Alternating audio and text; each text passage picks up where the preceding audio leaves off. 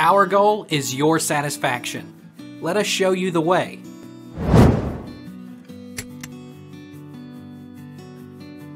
What causes a baby to be born intersex?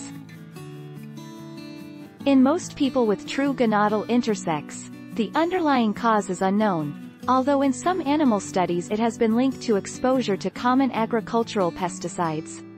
Many chromosome configurations other than simple 46, XX or 46, XY can result in disorders of sex development. Can you tell if a baby is intersex in the womb? Parents often find out their child is intersex at birth, but not always. Healthcare providers sometimes detect atypical sex development during an ultrasound before a baby is born. It's also possible to find out your child has a DSD months or years after birth, such as in early childhood or during puberty.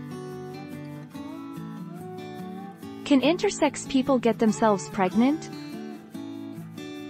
Hermaphrodites can either reproduce by virtue of self-fertilization or they can mate with a male and use the male-derived sperm to fertilize their eggs.